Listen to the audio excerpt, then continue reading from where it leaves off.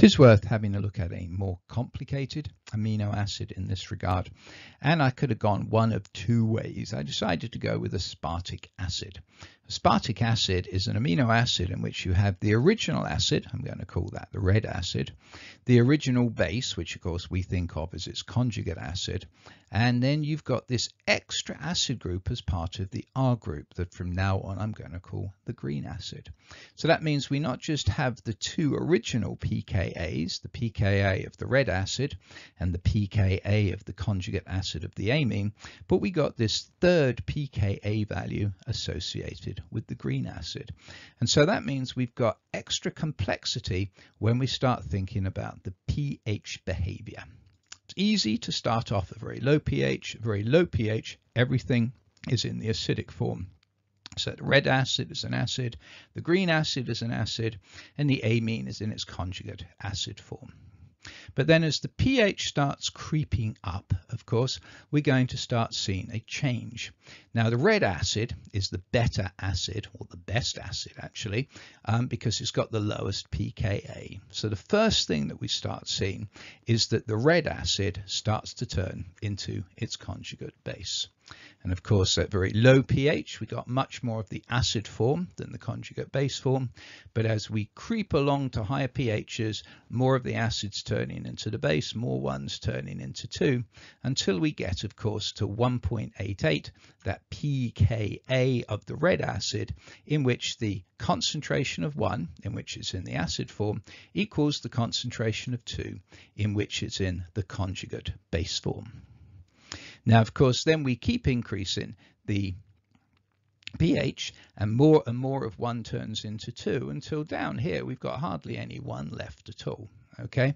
But of course two has still got a very interesting acid group the green acid because as this pH goes up and we're getting less of one there and um, more of two is going to start turning into its conjugate base three. So there's the green acid, there's the green conjugate base. And of course, the super special wonderful point for that is a pH of 3.65 at which the concentration of two equals the concentration of three. Okay, down here 1.8, 1 and 2, 3.65, 2 and 3. You've got hardly any 1 left at this stage as the amount of 3 creeps up and so forth. Okay, now of course then we've got what we saw before for the glycine. We've got a fourth possible structure and that's the one that you're going to see up at the very very high pHs. At the very high pH everything's in the base form. Well we've already turned both our acids into their conjugate base form in structure 3 but now we're turning this conjugate acid back into its base by the time we get to structure 4. So very high pH all you've got is 4 and then you start lowering the pH a bit, you start turning a little bit of 4 into 3, but you've still got more 4 than 3. And I hope you know where the next point of interest is going to be. It's going to be at 9.6. Um, because at 9.6, pH of 9.6, when the pH equals the pKa of this group, well then the amount of the acid equals the amount of the base. In other words, the concentration of 3 equals the concentration of 4. So four possible structures depending on the pH. At the very low pH, everything is in the acidic form, which means overall the amino acid has a 1 plus charge.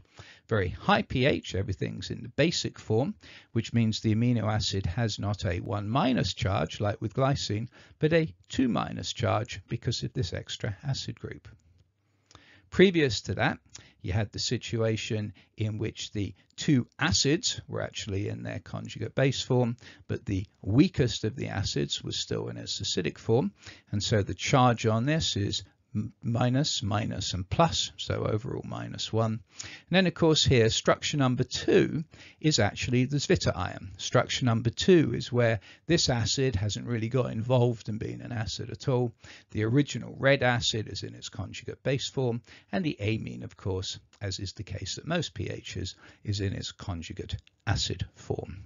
So two is the zwitterion.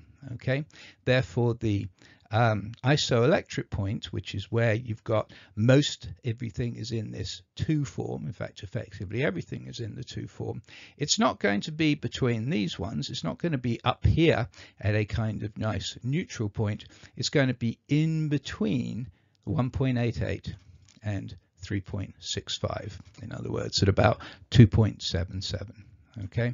Despite the fact you've got this extra acid in here so the zwitterion is still when you've got the original red acid in its base form and the original amine in its acid form. So aspartic acid and another related species, glutamic acid, a little bit complicated, more complicated than glycine because you had this extra acid group in there. And then there are also a couple of amino acids in which you've got an extra basic group in the R. And indeed, the next movie is where I'm going to talk about all of the important amino acids.